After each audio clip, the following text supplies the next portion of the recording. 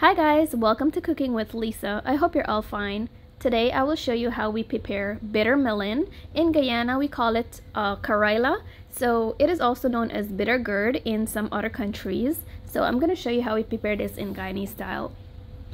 So bitter melon or gourd is a tropical vine that belongs to the gourd family and it is closely related to zucchini, squash, pumpkin, and cucumber.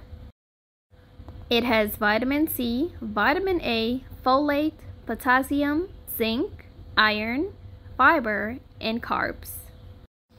This is one of my absolute least favorite foods because it is so bitter, but it can help our bodies to reduce blood sugar, may have cancer fighting properties, could decrease cholesterol level, and may help you to lose some weight.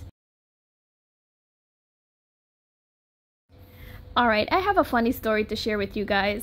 So, growing up in Guyana, boiling and drinking the karilla bush is very, very common.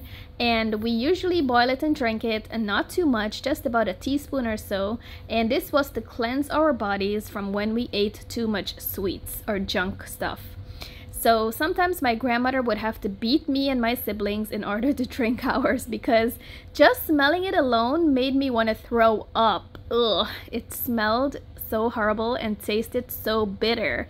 And sometimes I would just drink it quickly and then eat some powder milk after or some sugar or some uh, orange or something to get rid of that very, very um, bitter taste.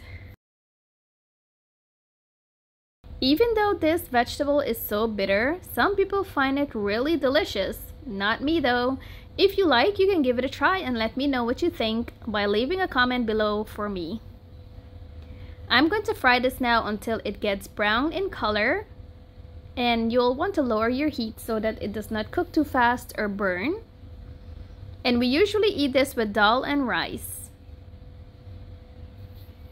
You can add shrimps to it, you can add some fish, some chicken, you can add whatever you like in it, or you can have it vegetarian style.